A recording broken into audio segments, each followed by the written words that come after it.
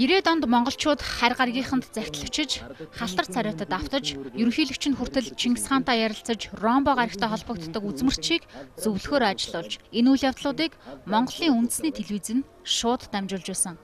Зарим баримтууд нийгмийн сэтгэлгээ тэр үеэс дээрдэж чадсан юм уу гэдэг эргэлзээг төрүүлж байна. Төрөвчөө нээж даллаад баяжчихна гэсэн 3000 хүн UB Palace-ыг дүүргэж байсан бол 2 жилийн өмнө гарсан Дэлхий сүнэн гэдэг цууяранд нийслэл иргэдээс авсан судалгаагаар судалгаанд оролцогчдын 58% нь итгэж байжээ. Судалгаанд оролцогчдын 58% нь энэ үйл явдал болно гэдэг ингээ бүр итгэсэн байсан. Ийм тархалцтай байсан байгаа.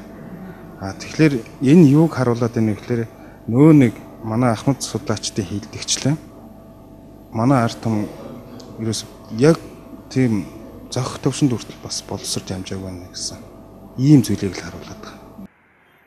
Нийгмийн сэтгэлгээний орчин нь тухайн үндэсний соёлын орчин, иргэдийн амжиргааны төвшин, нийгэмд үйлчилж байгаа дэглэмээс шалтгаалдаг байна. Хий хоосон зүйлд автаж мунхруулахад амархан байх хэсэг нь боловсролын түвшнөөс нь шууд шалтгаалдаг гэж социологчид үздэг юм. Манай улсын хувьд шилжилтийн үеийг ботход иргэдийн амжиргаа дээшилсэн ч сэтгэлгээний хувьд царцсан үеэс гарч чадаагүй гэж судлаачид үздэг юм байна. Судалгаагаар хөрөнгөчсөн хүмүүс олширсан ч нийт олонхын амжиргаа дээрдэхгүй байгаа ч гэсэн үүний нэг шалтгаан гэж тэд оншилж байна.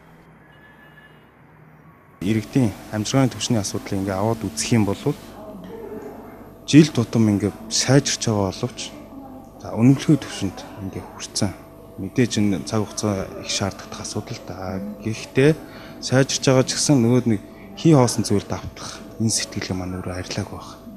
Солонгос савнгийн дуурт автаж бөөгийн сахиус авахгүй бол өөрт нь ямар нэг муу юм болно гэдгээс айж байгаа нийгмийн сэтгэлгээний явцуурлыг засахын тулд уулна шийдвэр гаргагчид боловсролын систем болон эдийн засгийн бодлогоо зориулах ёстой.